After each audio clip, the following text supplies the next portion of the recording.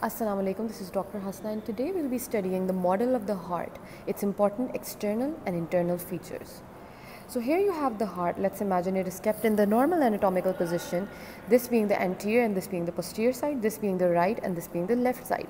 The apex is going to be directed towards the left. Apart from that, if a median plane is passed from the heart, the right side will contain only one third of the heart and the left will contain two thirds of it. First, let's talk about the borders and surfaces of the heart. When the heart is kept in the normal anatomical position, the apex is directed towards the left and just opposite to the apex lies the base. So you can say this is the base of the heart containing mostly the left atrium. As we all know that this is the right side, the right border extends from the superior vena cava all the way till the inferior vena cava. On the right border also there is the sulcus terminalis containing the SA node in its upper part. Then we have the inferior border of the heart. This runs from the inferior vena cava all the way till the apex of the heart. And then we have the left border of the heart, which is running from the left atrium till the apex. And the upper border of the heart is mostly visible on the posterior side because in the anterior side, the root of the great vessels are going to be covering it. So posteriorly, this is the upper border of the heart. The surfaces of the heart include the sternocostal surface that is going to be covered by the ribs and the sternum. The inferior surface, which is basically what the heart will be resting on when you are holding it in the normal anatomical position. And finally, when this surface is covered and the inferior surface is covered, there is a surface that is left. As you can see, this is known as the left lateral surface. The base of the heart is known as the posterior surface of the heart. Now let's go through the external features of the heart. This is the right side of the heart, this is the left side of the heart, which is the first thing to determine.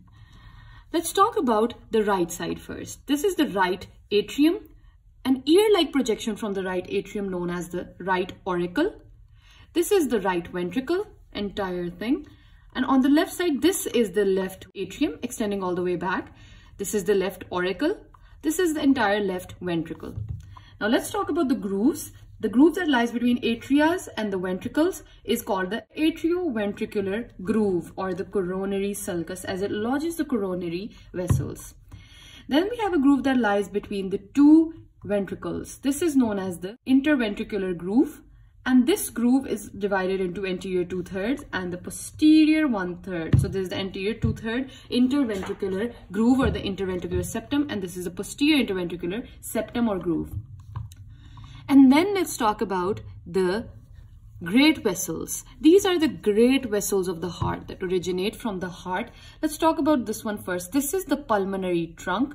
The pulmonary trunk leaves from the right ventricle and it consists of the two pulmonary arteries. One goes towards the left side while the other goes to the right side. The left pulmonary artery is attached to the arch of aorta at its inferior aspect as you can see this white part.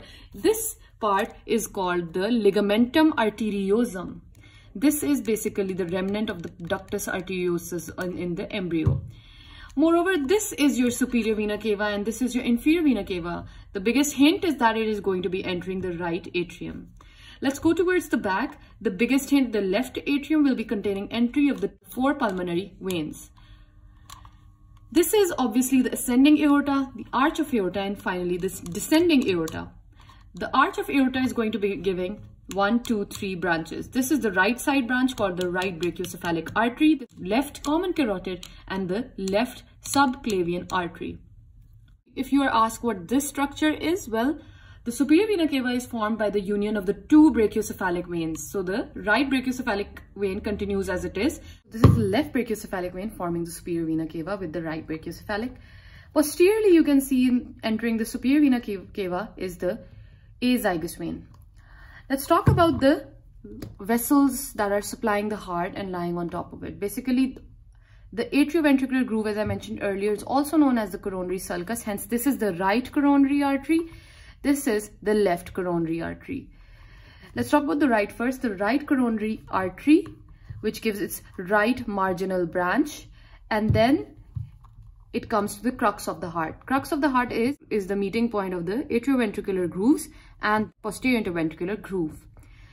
At this point, we all know what the, it gives an AV nodal branch and itself it becomes if the heart is right cardiac dominant, it becomes the posterior interventricular branch. So this is the posterior interventricular artery of the right coronary artery in the case of this heart. Then we have the left coronary artery. This is the left anterior descending artery, also known as the anterior interventricular artery. This is the left circumflex artery, giving the left marginal branch and itself it continues either if in the left cardiac dominant hearts the posterior interventricular artery otherwise it just ends over here. Let's talk about the veins. The major venous channel lies at the back of your heart known as the coronary sinus. So this is your coronary sinus. It receives tributaries. The most important of which is a great cardiac vein which extends its first part in the anterior interventricular groove and the second part in the rest of the left border of the heart and entering the coronary sinus Apart from this, we have the middle cardiac vein also draining in the coronary sinus. And finally, at the right border of the heart, the small cardiac vein draining also uh, in the coronary sinus. Other veins of the heart include the left diagonal vein, which will be lying on the left atrium the left diagonal vein is going to be combining with your great cardiac vein to form the coronary sinus. Apart from this, we have independent veins that do not drain into the coronary sinus, rather just enter directly into the right atrium. These are the anterior cardiac veins. Other veins include the vena cordis minimi, which are not visible as they are minute. This is the right atrium of the heart.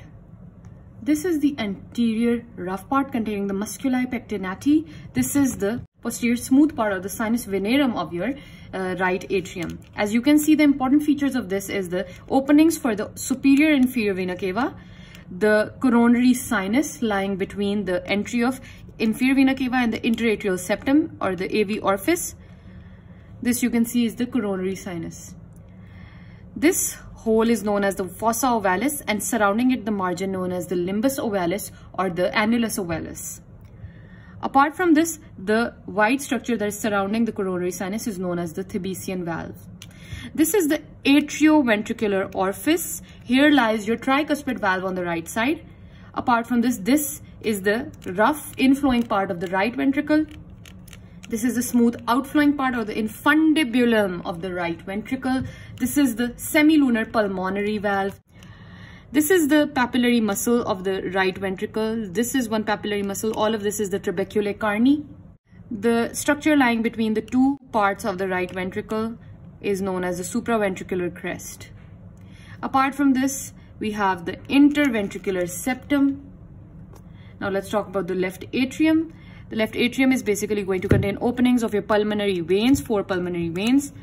And finally, your mitral valve or your bicuspid valve at the AV orifice of the left side. And this is the left ventricle, the wall being three times thicker than the right ventricle. The left ventricle contains your two papillary muscles and a rough inflowing part and a smooth outflowing part known as the aortic vestibule. And finally, the aortic valve, semilunar valve. So as you can see, the valve structures differ. Two semilunar valves have three cusps However, the AV valve at the left side known as the mitral valve has only two cusps and the tricuspid also has three cusps. And so that was all that you need to know about the heart model, the detailed structures for OSPE examination point of view. I really hope that helps. Thank you so much for watching and don't forget to subscribe to my channel.